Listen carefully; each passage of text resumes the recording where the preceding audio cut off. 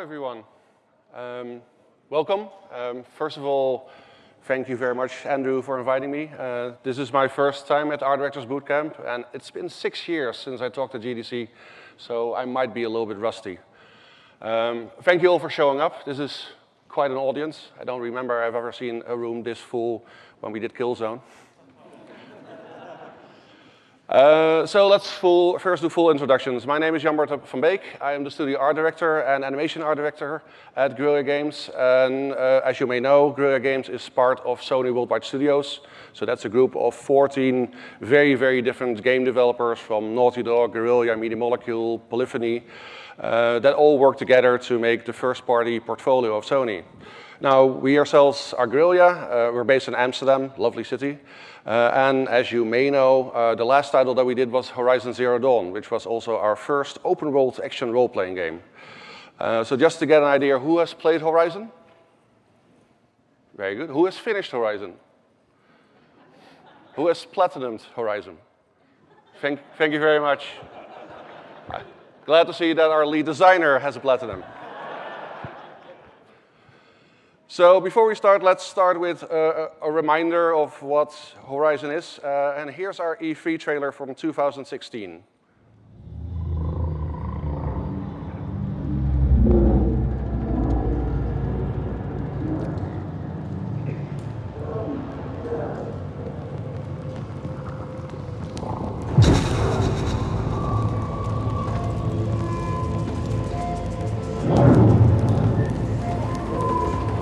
We know we weren't the first ones here.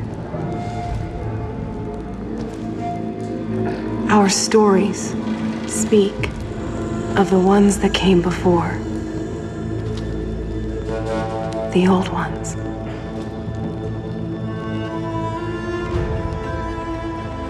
The world of the old ones was so different than ours. They had built incredible cities with towers that reached the stars. But a darkness came, and their cities turned to graves. And without them, the land started to change.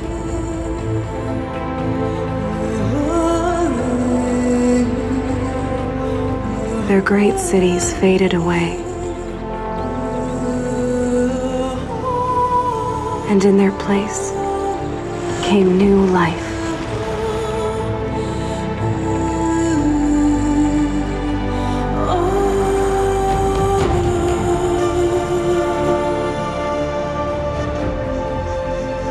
Over time, one by one, the tribes came to these lands. Some small and humble, some powerful as kings. They say my tribe was the first. The first to hunt. The first to raise our bows. For this world was never ours. We've always shared it. A dangerous balance between man and machine.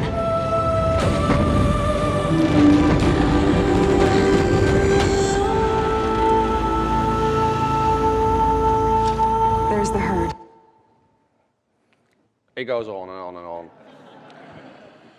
So today I'm going to talk a little bit about the art direction of Horizon, but before we go there, I want to talk about the idea behind Horizon. Uh, we get this question a lot. Where does the, where's the origin of the idea? Where does this idea of a young girl hunting robot dinosaurs in a post, post-apocalyptic world come from?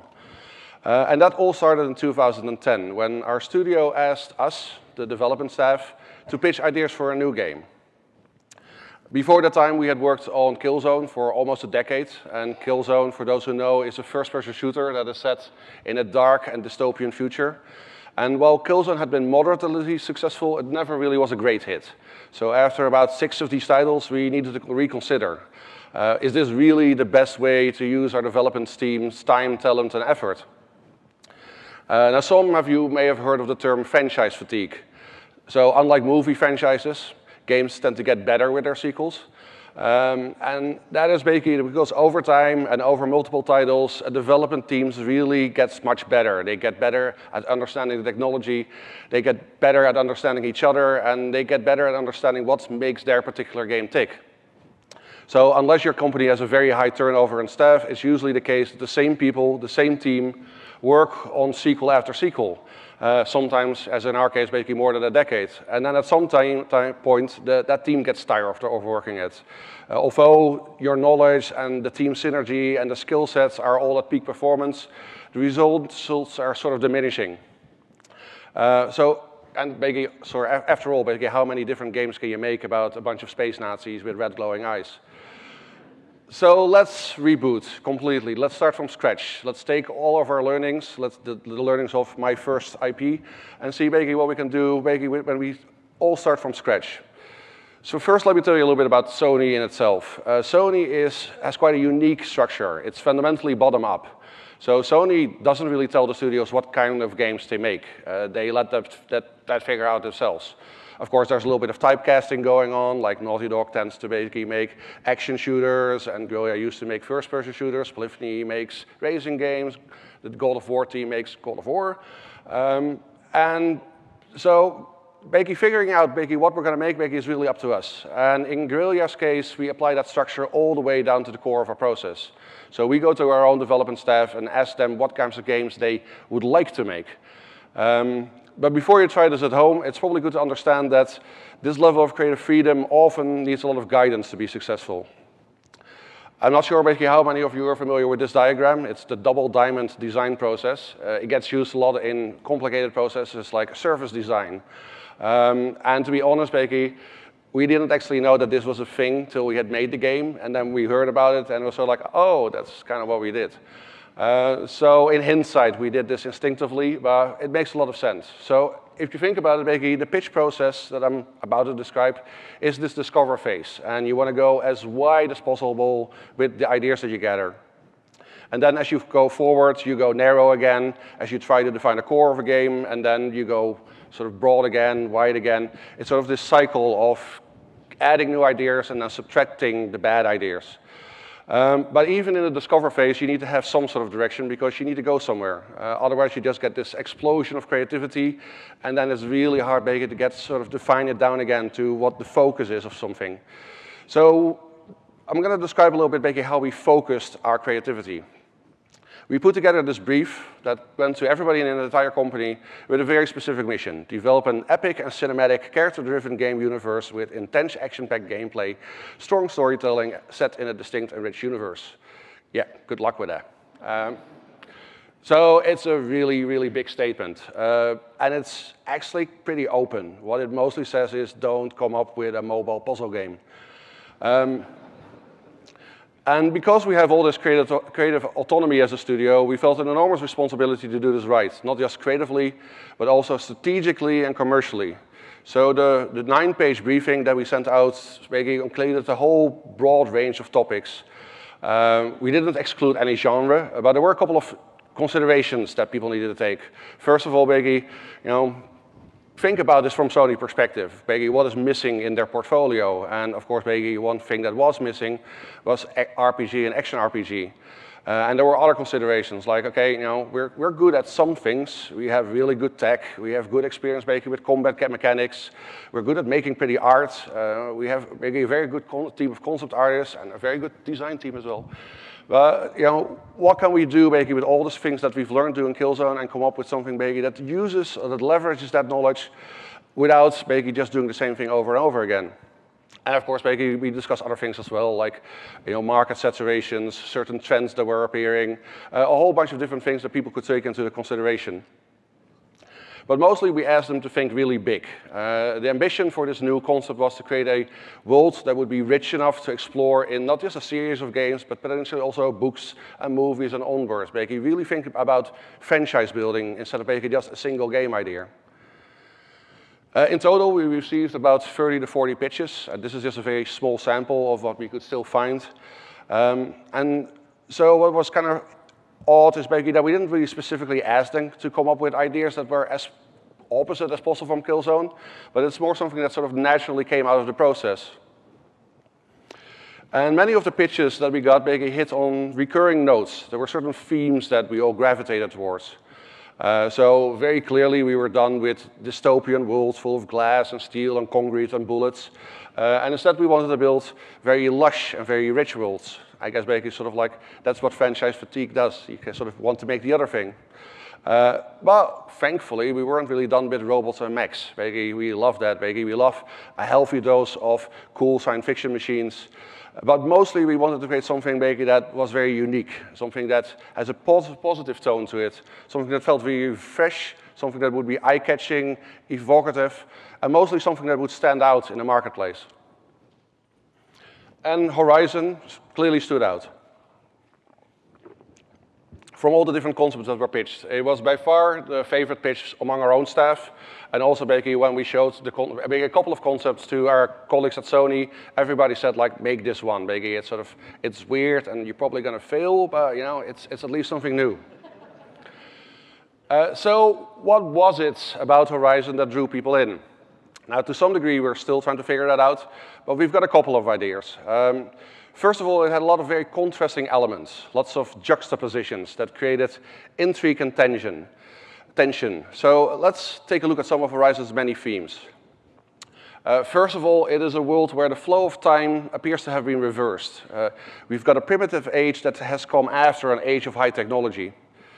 And it's a world where the world of science has become the world of mythology and magic. And it's a world that questions the definition of life as we know it, where the artificial has become the natural. Now, usually going for high concept science fiction is a very, very hard sell. Uh, but thankfully, we got some help from James Cameron. In 2009, Avatar came out, and it showed the whole world that the audience are still interested in, in very high concept science fiction. But in order to succeed, it needs to deliver something new and fresh. Now, Avatar, although it's a science fiction movie, it's actually a back to nature story. It's about a spacefaring civilization that clashes with the tribal inhabitants of a, of a far away world. And uh, it's a world where they celebrate this, they celebrate the magic of nature. So it's science fiction, but it's very relatable and it's also very relevant. Uh, it asks a couple of important questions, like whether technology and nature are opposing forces. In the years before Avatar, there was a, a, sort of resurgence in the appreciation of the natural world. You may remember the Planet Earth series, the, the ones about the oceans, a whole bunch of these very lush, beautifully made documentaries. Uh, and ironically, it was actually new technologies and film technology that made these things possible. So we saw this, this aspect of new technology actually heightening the natural experience instead of fighting it then basically on the other side became sort of aware of the flip side of technological advances, the notion that if you push nature too far, it might just basically push back. Uh, and this created a sort of new type of apocalyptic end of the world scenario. So there are a couple of uh, apocalyptic scenarios that have existed for very long. You've got this, the very old ones from the 50s and the 60s, like the alien invasion or the nuclear war or the zombies. Uh, and then sometimes basically new things come into fashion because of new societal fears. So now we have movies about global environmental collapse or the rise of the machines uh, or smart monkeys. Um, in any case, there are many different types of stories that describe the events of apocalypse. They all focus on showing the events that are preceding it or during the apocalypse, and to some degree, most of them are actually disaster movies. And then when we get to the post-apocalypse, we suddenly see this enormous loss of conceptual variety. What we pretty much end up with is wastelands with lots of bad people. They tend to be dark, decrepit worlds, filled with constant danger, and most commonly, actually, the biggest danger is other people, because other people are bad. Um, and so it's all about trying to survive in these harsh worlds. Uh, this, this sort of end of the world scenario, it has certainly fascinated storytellers and audience alike for a very long time, but these worlds, these, these, these are depicted, they've become very overly familiar to our audiences. And Horizon promised sort of like a different view on that, a different view on the apocalypse. So it's a common notion that the end of mankind is automatically the end of the world. Uh, and of course, the reality is that that's very far from the truth. Our planet has survived something like six total near extinctions of all life, and life tends to come back every single time. It's, it's the Michael Crichton thing, life finds a way. Uh, and so Horizon promised a new sort of escape from the dreariness of the post-apocalypse. Basically, we started describing it as the post-poke apocalypse, uh, and maybe there's even a post-post-post apocalypse. Um, so it's a new type of world. It's not a dystopian one, it's not a utopian world either, uh, but it's one that sort of blossomed on the ashes of our world, to call it, to say it very prosaic. Uh, it's a world that isn't really concerned with the past anymore. Uh, the apocalypse in Horizon has become the stuff of myths. It, those dark days are over and life has moved on. So in some degree, Horizon offers like a hopeful view of the end of civilization. One that's not about morbid display of death, but one that highlights a sort of new and brighter world that comes after all that death. And within fiction, there aren't many stories that really explore the world that comes after. Uh, and creatively, that helps to some degree, uh, as the audience doesn't have a lot of expectations about these worlds. So it allows you to be a little bit bolder and, and use surprise and intrigue to you know, interest the audience with something new and unfamiliar. Uh, but the stories that do exist, they often add a very fascinating ingredient to the post-apocalyptic mix, and that's mystery. Almost in every one of these, there is a detective story going on. It's the question of what happened, who done it. Uh, and those setups are usually very intellectually compelling to an audience. They get to mentally explore this world. Uh, they get to mentally explore something that's unknown and mysterious to them. And in that regard, it's, it's a real proper adventure. But it's also harder, especially from an art directional point of view, to make that believable. Uh, if it intrigues the audience, but it doesn't make sense to them, they're not going to keep engaged in your fantasy for very long. Uh, and that's the ultimate trick of production design that production designers to pull off, to create a world with a sense of authenticity and believability. Now, in our visual design process, uh, we generally avoid rushing towards an end visual. Uh, instead, we take a lot of time to really research every element that's part of the sum uh, that makes up the final piece of key art. So we don't just throw everything together at the same time, but we very slowly layer the elements carefully together. A key inspiration in our process was Alan Weisman's book, The World Without Us. Uh, who has read this book? Very few people, thankfully. That's, that's why we got to make Horizon. Uh, so in this book, he describes a scenario where suddenly all humans have disappeared from Earth. Uh, and he doesn't really explain why, because that's not really that important. But one of the things that he does in the book is that he very carefully describes the process of how all traces of mankind, all evidence of mankind over the ages will finally disappear. Uh, and there's this nice little moment at the end of the book where he describes basically the last thing basically that will remain of humanity. Who can guess? No, it's the, it's the Voyager. Because basically, when our sun finally goes supernova, this thing is literally in another galaxy. Um, so we started to recreate that process. Uh, we took a typical American Midwestern town, because why not, and started to visualize what would happen to that. So in Horizon's background story, the apocalypse dissolved oil biomatter. So it's a completely lifeless desert, and all the soil has turned to sand. Uh, so we started studying what would happen to buildings, to villages, to cities in these type of desert environments. And of course, you'll see some really typical patterns. Uh, roofs start to collapse, then the walls, and then the fa facades basically collapse. But sometimes arches and columns stay around. That's why we still see them in some of the ancient ruins. Uh, and chimneys. For some reason, chimneys stay up forever. Uh, thousands of years even. The, the landscapes are littered with them. Um, and then so also because there's no fiber in the ground anymore, there's no roots anymore, the soil itself starts to move like a liquid. It becomes sand dunes, it starts to move around. So it starts to flow around buildings, cover them as the wind pushes it. And these shifting sands uh, affect the ruins, of course. Basically, they push the ruins, they fill the ruins, they, they change everything about the landscape till it's been completely changed. And then we started imagining basically how life would, would return. Basically, it would probably first jump, spring up in places where the soil can hold water the moment basically that rains come back. And then uh, life starts to spread everywhere. And then you'll end up with something like this, where it, it's very much buried and overgrown at the same time. And this was sort of key of making it look like a thousand years instead of like, like 50 years after the apocalypse. The whole notion, basically, that the landscape itself would have vastly changed. And then we took it a little bit further, uh, hundreds of years further. So at some point, you've got skyscrapers that start to crumble and they become hills again because of the, the effluvial lines around them. And rivers, of course, change course and start to cut new canyons through the structure.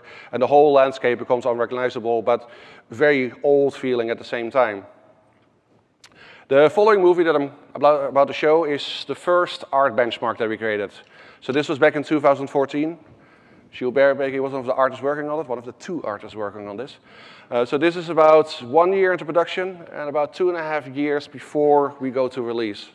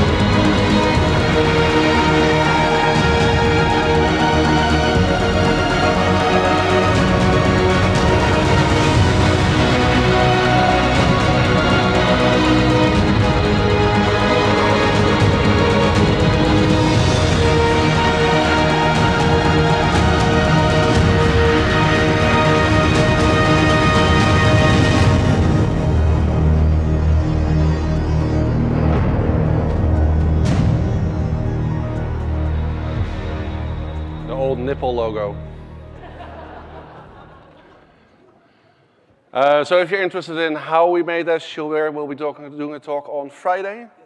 Uh, so this is my plug for his talk.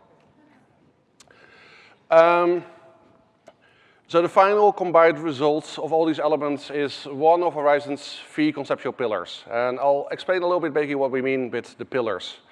So at Guerrilla, we use a game design process that we call the pillar methodology. Uh, the game pillars are a set of key statements about the intended experience, and it takes quite a bit of time to craft these pillars, as all the wording of it is carefully tuned until all the pillars stay exactly what the creative intent is. So there shouldn't be one word too many, there's no word too less. Every single word maybe that's in there is there for a reason. And so Horizon's environments with its wilderness and its overgrown ruins is one of these pillars. Uh, and the other two pillars are about tribal culture and the machines. And of course, basically, the fourth implicit one, basically, that is Aloy. So remember the double diamond? Uh, these pillars sit at the midpoint of the double diamond. It's the smallest, most compact way of describing the core experience of the game. The pillar statement that we have of, of, the tribes was the one on screen here, and as you can see, it's quite a mouthful. Uh, but one of the key observations that we from the art directional team basically took out of it uh, is that it talks in plural, pluralities. Sorry about that, not my native language. Uh, so it talks about cultures and stories and characters. It's really about volume. So our job wasn't just to design one rich tribal culture, but actually a whole range of them. Um, and the pillar doesn't just have subtext about volume, it also implies diversity, it implies distinction and believability. And especially believability can be very challenging. Now, the process that we use to achieve believability is something that we call intrinsic ideation, because we love pretentious terms. Uh, now, some of you may have heard about the rule of cool. Uh, the rule of cool states that things are always cooler if you just keep adding other cool stuff on top of your cool idea stuff. Uh, and the problem, of course, with this is basically that it completely destroys the believability of any idea as you keep adding and adding more mismatched ideas to it. Now, I already see you guys thinking, basically, aren't you the guys that added robot dinosaurs to a game? So I'll talk about that later. um, intrinsic idea does, ideation doesn't allow you to just add cool stuff to it. Everything you design has to be there for a reason. Uh, and there has to be a reason why it looks the way that it looks. So before we started designing the tribal cultures, our first question was, how does culture develop in the real world?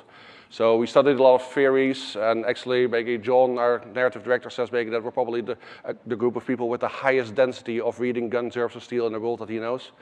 Um, and uh, anthropologists maybe don't agree on everything, but they do agree on a couple of things. And one of the common things that they do agree in, on is that culture is all about resources. So the resources that an environment provides, that's what defines a culture. So let's take a look at one of the tribal cultures in Horizon, uh, the Nora tribe. So this is a tribe that lives in the Rocky Mountains. And so we can so, sort of say, well, okay, what does the environment tell us about this tribe? So for one, uh, mountain terrain isn't really suited for agriculture. So without farming, food will have to come from hunting. Uh, so most likely we're looking at a hunting gathering lifestyle.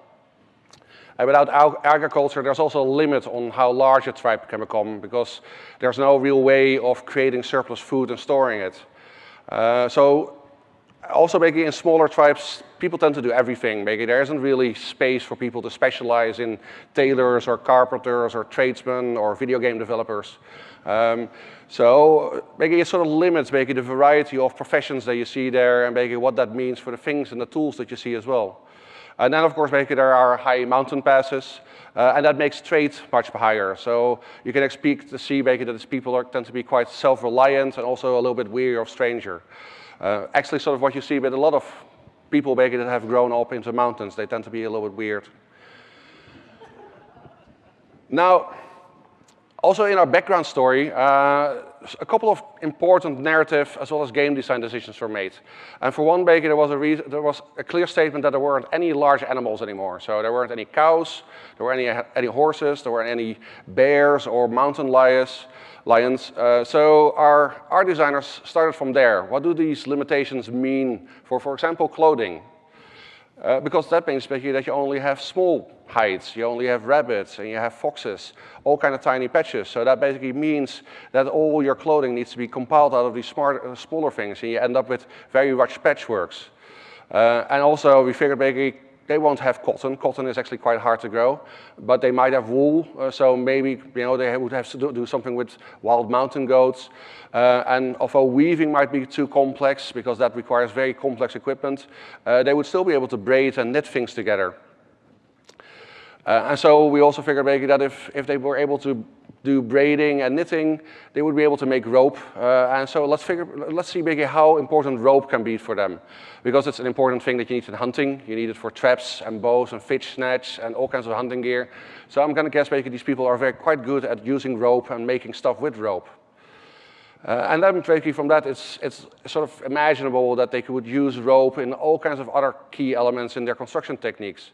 So it would be a way maybe that they would put larger wooden structures together uh, and even maybe extend that to architecture. Of course, maybe architecture itself, maybe there's a lot of trees in the mountains or some mountains. Uh, so that again basically informs basically what they would be building from. They wouldn't basically be making things out of mud or stone. They would be using the most pliable material they can find around. So as you can see, basically we're sort of layering these elements on top of each other in a logical structure. Everything is there for a reason. Now, as this process of ideation continues, you start to get the outlines of a culture. Uh, but the problem is in our earliest things, making that things starts to look very mundane. Uh, making an image like this, this would just as easily fit in the world of Lord of the Rings or in Game of Thrones. But there is, of course, making one truly unique element in the world of Horizon. Uh, and that is sure to have a very large impact on the development of all cultures, and that's the presence of these giant animal-like machines. Um, so for example, what effect would it have on clothing? Uh, now, in some degree, maybe these metal plates are sort of like bones, and bones are actually quite bad for making armor with because they break and they're quite brittle. But what would happen, basically, if you start using these armor plates in their clothing? Basically, would that make sense? So we started experimenting basically with this look basically where the metal parts would be embedded in their clothing, uh, and that actually basically started to make sense. Basically, this this would actually be a feasible idea for them, uh, and so we began experimenting with ways to include them in all their hunting gears looking at how these elements would mix uh, and how they would connect to the existing elements that are already there. And then, of course, there's tons of variation and there's tons of balancing. You know, how go a little bit too far, you end up with a science fiction game. If it's not there at all, basically it's barely noticeable and it doesn't really have a big impact. So over time, we managed to basically get this sort of final result that we felt basically was both authentic to the culture, but also created a distinct look for the world of Horizon. Now, so through this technique of intrinsic, uh, intrinsicization, we managed to create quite a wide variety of different cultures cultures that were all very distinct from each other and that all fitted with the environments of the tribes. And it gave Horizon a very unique and visual identity. So the next thing that I'm going to show is one of our trailers where we show a little bit more of the tribes.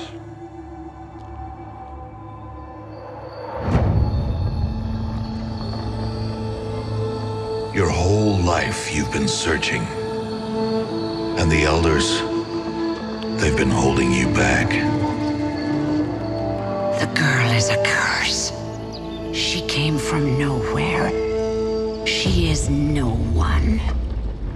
When they told me to raise you, I didn't ask questions. Why am I an outcast? Who was my mother? Always you pushed for answers.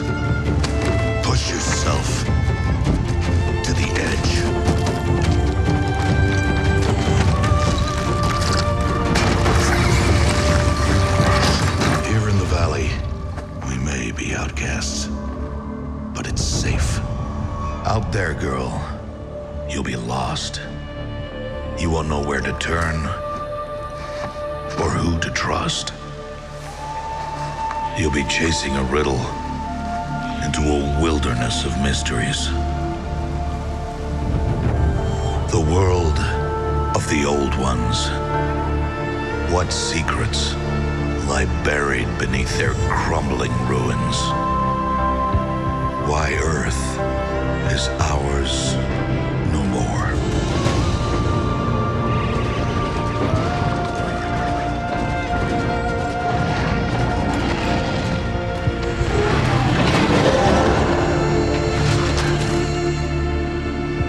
These questions, Aloy, the tribe has forbidden. What if the answers are worse than not knowing? You can help? Or you can get out of my way. Then be ready for the darkness. And be careful what you bring to light. Even if you do catch what you're after, how do you know it won't bite back? Outcast! You came from nothing. You will die a nothing. I came from somewhere. Identity confirmed. Even if it destroys me, I will see this through.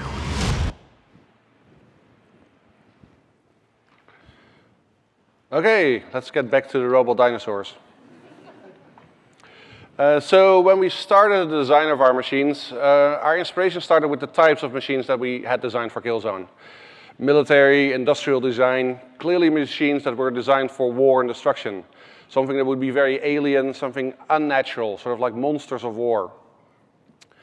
And we played around with the idea of making them half broken. They're a thousand years old, so robot zombie monsters. Uh, playing with things like strange way of, of movement and locomotion, so sort of like nightmare creatures.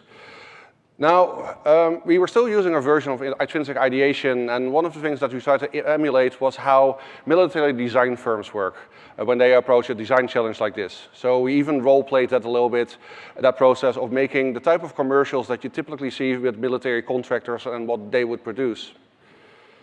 So usually they tend to be very sort of gung-ho, look at our cool system thing. Uh, so here's basically one of the movies basically that our team made basically to sort of sell their initial idea of basically what the robots could look like. When you invest in a GDLS vehicle, you know your investment is a sound one. And that investment extends well past the date your vehicle is delivered because you have the assurance that Through Life Support, one of the premier product support programs in the industry, is behind you. A program you won't find anywhere else because keeping you mission ready is what GDLS customer support is all about. I think this did this inspire our narrative team a little bit, Bakey, about Faro Industries. Uh, but the thing is, Bakey, that this, this didn't work at all. Um, we made some of these prototypes, and what we found, Bakey, was that the emotional core experience was just completely off. Um, so when we look back at one of the pillars, it, it told us something really important about the core experience, and that it was about hunting. Uh, and fighting against these sort of robot monster zombies machines, it didn't make you feel like a fight, like a hunter. It made you feel like a warrior, like a soldier fighting in the world of Terminator. And also it clashed with another pillar that we have. Uh, the designs failed to come across as something that was a life form. Uh, in fact, they came across as solar soulless machines. So the, we decided to scrap everything and start from scratch. So we needed a design for the machines that enabled our players to feel like hunted, like hunters, and at the same time, basically, that they needed to feel alive and they needed to feel dominating. So maybe it was time to look back at another point in time where there was actually another dominant life form. Uh, and sure, basically, when somebody suggested, let's turn all the machines into dinosaurs, a lot of people got very, very worried. Um, because this is sort of like the rule of cool, right? This is, the, this is a problem. It's, it's Vikings hunting robot dinosaurs. It's completely ridiculous. Uh, but still sort of reluctantly, basically, we decided to try it out and just see basically what it would look like and feel like from a concept art point of view. Uh, and then basically as that happened, something started to happen. None of these things made intellectually any sense, but the imagery that we created worked emotionally. This, this whole silly idea of a primitive mankind hunting high-tech megafauna just clicked. And everybody got very inspired, and it just tapped this, this treasure trove of ideas. It really perfectly encapsulated this feeling of being a hunter of very dangerous prey. Uh, by using familiar shapes, such as the famous T-Rex, everybody immediately understood their relationship to it. If something, if something really big and dangerous stands in front of you, basically you understand that, that it's dangerous. Basically, you don't need to explain it through complex animations or backstories. So it might have created some level of intellectual confusion, but the emotional clarity was there. Uh, it was sort of like an, under, an extra interesting juxtaposition. Um, now, there was a lot of concern about the ideas of robot animals. Uh, maybe it was a little bit too strange, a little bit too alienating for our audience to accept. Uh, and thankfully, real life has some precedent in this whole notion, this idea. So these are, of course, making the famous movies from Boston Dynamics uh, that make these robot dogs. They also always kick them. so if you're ever wondering, Becky, why the robot apocalypse happened, it's because of this guy.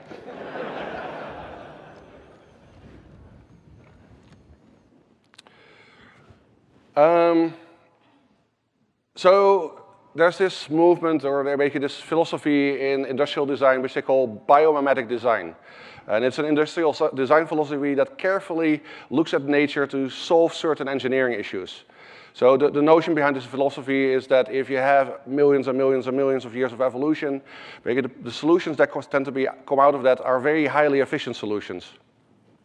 A famous example of this biomimetic design is a problem that Japanese engineers had when they tried to solve the famous bullet trains. Now, when they first made these things, they would sort of send them into tunnels, and the moment that they hit the tunnel, there would be these air pressure events which literally ripped the whole train apart. And that's bad for passengers. Um, so they, they were looking for a solution and they got their inspiration from the, the, the beak shape of the kingfisher. Because this is a bird, basically, that once it hits the water to catch a fish, it almost makes no splash. So basically, this is a perfect sort of evolution basically, that created the shape basically, that, that the, the high, uh, most efficient form of hydrodynamics. And once they sort of took that shape and put it onto, on top of these trains, the trains didn't fall apart and basically people were happy. Now, there's other versions of biomimetic designs as well. Uh, maybe on your flight in, you look, took a look out of the window and you saw basically these strange ailerons on the tips of airplane flames. Well, this is sort of where they come from, basically. It's, it's something basically that birds of prey has as well because it reduces drag, uh, because it does something strange with the turbulence. Um, so when we were designing with the tribes, we talked to a lot of anthropologists, and we figured it might be interesting to talk to engineers, uh, engineers who, who work in, robot, in robotics. So we went to the Technical University in Delft, which is local to us, um, and not only did they confirm maybe that indeed biomimetics is a large, large part of modern robotics, but they were also using algorithms that mimic this process of evolutionary design itself. So they would create a design and then have it crossbreed it with successful versions of itself till it would converge to the most efficient designs. And you get some really interesting things out of it because they look very oddly organic. So it's not really art imitating life, it's art imitating technology that's imitating life. Um, so it seems very logical for that our very advanced robots would sort of converge to the shapes that we see in nature as well. If you think about it, if wheels could have evolved in nature, but only if roads would have been a natural occurring feature as well. Uh, but in a world basically where you only have mountains and tree stumps lying around, it makes a lot more sense basically to have legs. Uh, we also basically asked them if nature could be improved upon. Uh, if, are there any sort of design mistakes or evolutionary processes basically that didn't go to the most optimal form? Are there any suboptimal solutions in nature? Uh, and they explained basically that internal skeletons is one, if you think about it. So all the soft tissue is on the outside and then your hardest part is on the inside. It doesn't really make a lot of sense because it's just too fragile. And also if you break one arm, basically that, that's done. Basically in nature, that's probably pretty much game over, you're dead. Uh, so why put all this soft, vulnerable tissue on the outside and then create this, these sort of single points of failure? You know, is there a better solution for that? Uh, yes, nature has better solutions for that. Uh, so exoskeletons basically are much more sturdier. You have the protective aspects on the outside. It's just, you know, if humans would look like this, basically would be a lot less attractive to each other, I guess. Um, and so we started to use these concepts of biomimetics, uh, artificial pneumatic muscles, uh, algorithmically generated reinforcements and exoskeletons, and started exploring a look that would make these machines believable. But it's not just about the efficiency of the biomechanics that influence the shapes of living things. Uh, uh, often, a creature's niche in an ecosystem is also what drives these evolutionary processes that adopt certain shapes and behaviors. And we wanted to show a, lot of, a large variety of different machines, each with clear and distinct shapes and behaviors that were coherent to the function that they would have in our ecosystem and in our game. So uh, one of the first ones that we tried to design were the watchers, uh, and they would be the guard dogs of our ecosystem. This was a sort of class of machine that would function as walking alarm bells in terms of the game design. Uh, and one of the things that we found out is that we could actually change the shape of these creatures quite a lot and still basically communicate what they wanted to do. Basically, they didn't literally need to be dogs or meerkats to basically sort of communicate their function. So one of our designers proposed this idea of making a snake on legs. Uh, so it would be able to run really fast on two legs, but then if it needed to look it could just basically sort of slide up its tail and look above things. Uh, so yeah, a, a, snake that's able to stand on the tip of its tail. Now the key thing to get this to work, because it would be not really a known creature, would be to get the behavior right. Because if we got that right, we figured that the audience might be able to understand them and see them as something beyond a machine, so we see them as something like a living creature. Now here's a movie that I have basically that shows a little bit basically about our first prototype and actually the first animated robot that we had in the game. So this is almost six years old, six years ago.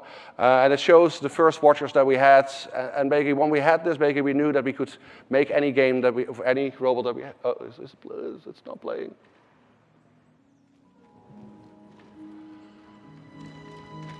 And yes, Horizon was co-op at some point.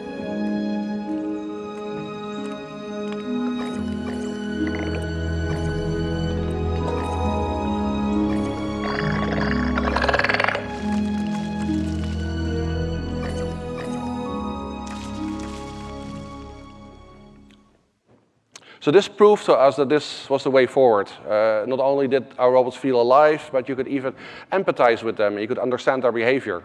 Uh, you could sort of by, by, the way that they communicated, you could anticipate what they want, what, what they were for, uh, and also making it made you feel like a hunter. You were studying these things. Uh, you could understand, your, study your prey and understand it. So that sort of made the decision for us. Uh, so we were thankfully able to, able to rationalize our intellectual disbelief away and align it with the emotional clarity that we felt when we first started thinking about robo dinosaurs. So our cognitive dissonance was resolved and the crisis was averted. Uh, and that was time to basically codify that into the DNA of Horizon. So at that point became about animalistic machines. Uh, let's take another look at a movie basically that shows these things a little bit more from the perspective of the game.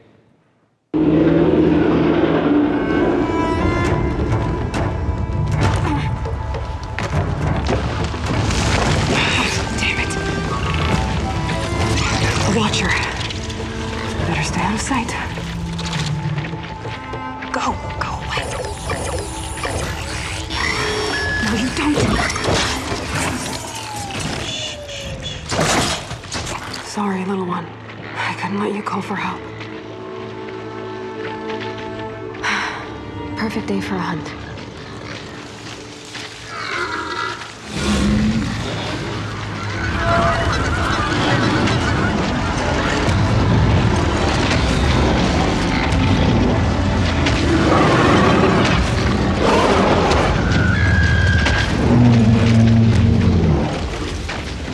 This is going to be harder than I thought.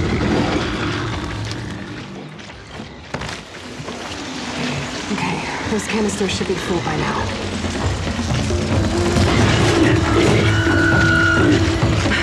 Just a couple more. Oh, come on!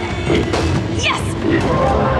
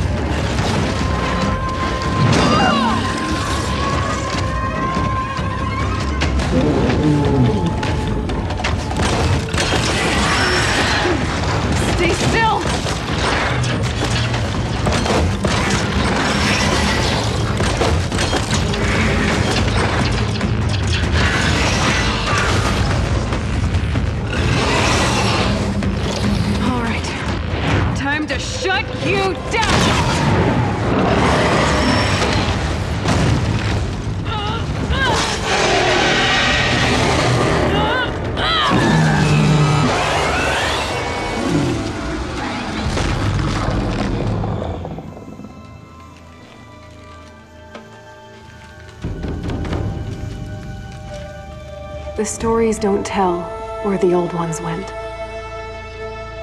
They don't tell us why the machines rule these lands. But they warn us that this balance cannot last.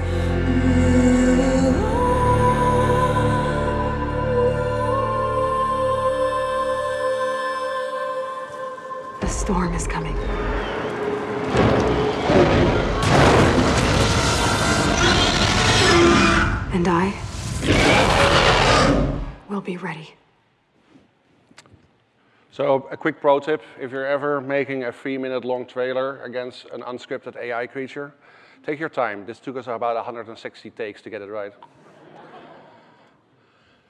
Uh, so arguably, we could now design any machine that we wanted, uh, but we still felt it would be better to stay with existing or extinct creatures. We felt basically that it gives a way to player, player to anticipate the machine's behavior a little bit more. Because if it looks like a giant T-Rex, it's probably going to act like a giant T-Rex. Um, so, for example, we designed our version of a terror bird. This is a bird that lived about 10,000 years ago in South America, and it hunted horses. How cool is that? Um, so we had our visual style defined, and it actually is now quite easy to come up with what the look of a machine would be. But it's often unclear on how it would move, and it would be even harder to imagine basically how it would attack. So for example, how would a terror bird attack? Uh, you would figure basically like, oh, it has a giant beak, so it probably uses its beak. Um, now there is this aspect from paleontology where they tend to study sort of contemporary relative of extinct creatures and then theorize their behaviors of it. So roosters are sort of like contemporary mini-me versions of terror birds, and they do this when they attack.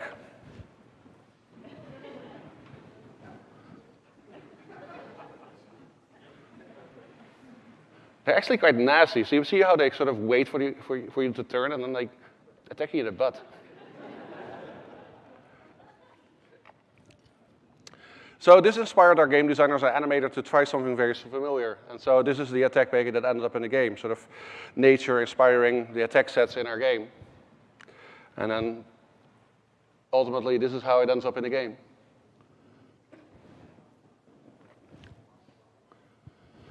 Um, so ultimately, this design process enabled us to create a very large variety of very interesting and evocative creature designs uh, covering everything from dinosaurs and other extinct creatures to bisons, wolves, and giant birds. So the last thing that I'm going to show today, and before we go to the Q&A, uh, is one of our last trailers. This one was specific, specifically created to, to, communicate the concept of being a hunter, and it shows off a lot of our machines in action. Let me tell you what's out there. Vast reaches of wilderness, untamed a rugged domain. Majestic, but lethal. It belongs to them. The machines. Steel beasts who rule these lands. And guard the secrets buried beneath its crumbling ruins If you hunt these wilds, no matter how skilled you are, no matter how clever, you will become the hunted. Can you brave that challenge? Can you pass that test? If you want to survive, have to make the kill. Only then can you bring to light the deep secrets of the Earth.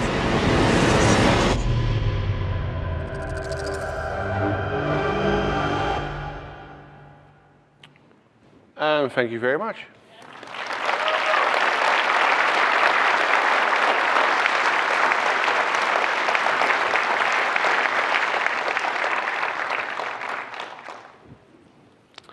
All right. Anybody has any questions?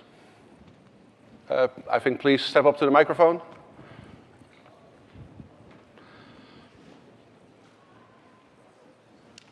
I've got a question. Actually, Hello. Hi. Um, as you're searching for new IP stuff, um, you, it looks like you had tens and tens of ideas up there. What was the morale of the team like while you're kind of wandering through the desert, sort of away from the safety of this known IP that you guys have done for 10 years? Uh, in general, everybody was really excited. It's, it's, you know, it's a once in a decade opportunity to you know, start at the, at, at the birth of a new IP. Uh, so a lot of people maybe were very interested in, in, taking part of that, and of course, maybe people get disappointed if their idea doesn't get picked. Picked. That's certainly a thing there. But in general, maybe it's, it's actually really good for morale.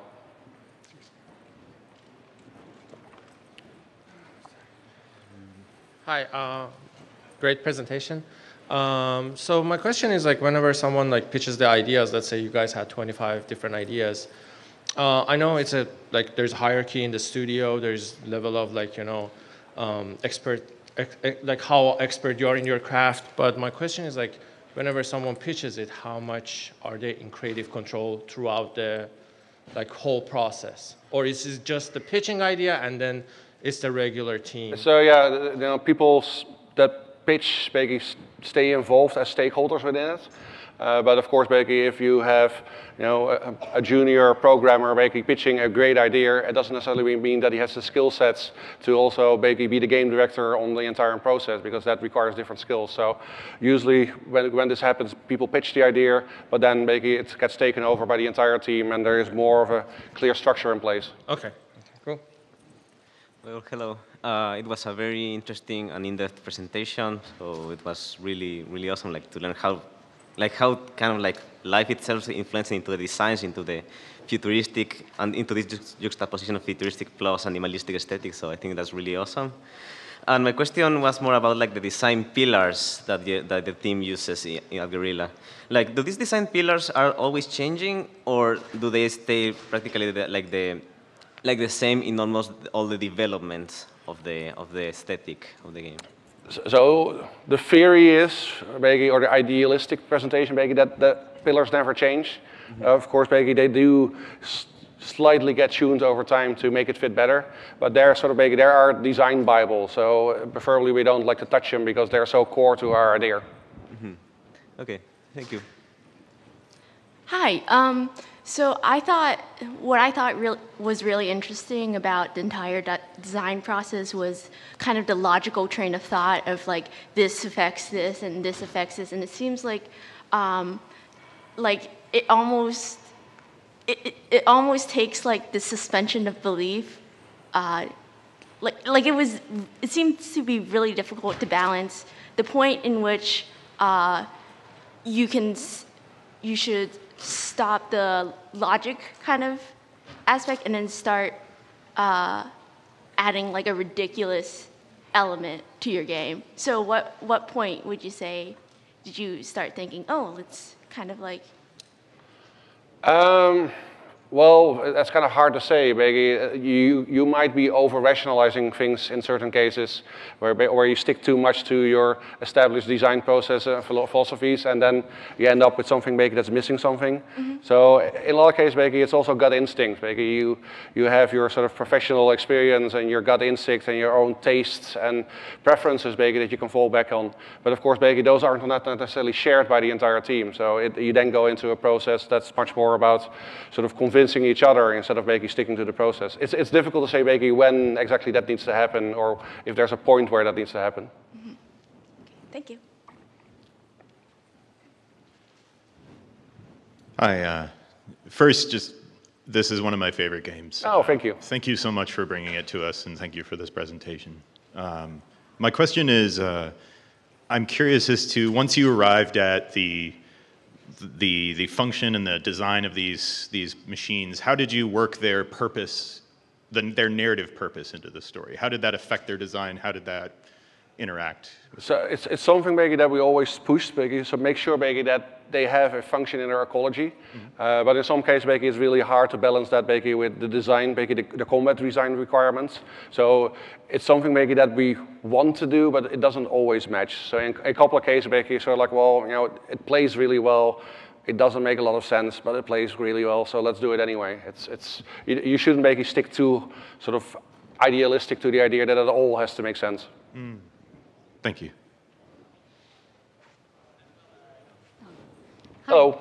Um, thank you again for the talk. It was uh, very informative. Um, I was wondering, with all the creature designs, there's so much love and there's so much thought into all of them. And with the rush of AAA production, I was wondering if processes like outsourcing helped the core team just focus and really bring out the best in those ideas, or how did that help with the core team?